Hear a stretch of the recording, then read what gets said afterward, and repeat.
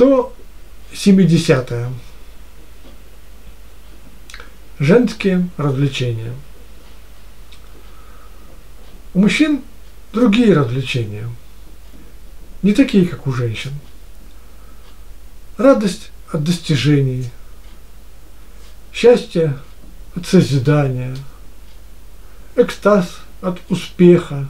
Ну, попробуйте построгать ножом деревяшку. И когда у вас получится фигурка девушки, что вы почувствуете?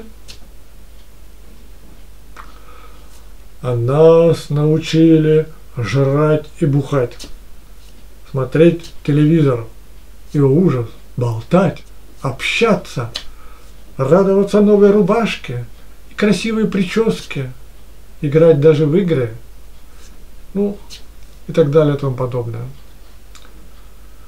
И самое смешное – это отдыхать.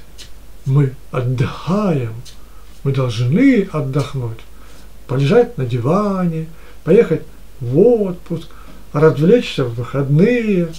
Бред какой-то. А сон, который занимает треть нашей жизни, он для чего вообще? Зачем еще отдыхать-то? От безделья?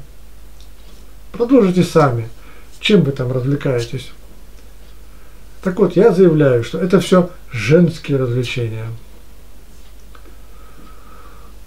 Мужчине достаточно сменить свою деятельность. Поиграл в танчики, поработал 8-10 часов, пришел домой, поужинал, трахнул жену, и спать. Какие еще нафиг развлечения? И это не сарказм. А я реально не понимаю этого. Сколько времени, собственно, жизни, сколько, уходит впустую. Мы тратим свои силы и средства на отдых.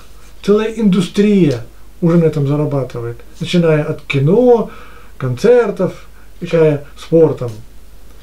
И все это придумали женщины, поскольку им нечем заняться по жизни. Не надо доить корову, готовить обед, стирать мужу носки, а нужно отдыхать и развлекаться. Ведь жизнь такая скучная. Это у вас она такая скучная. не надо нас тянуть туда за собой. Трепыхайтесь там сами.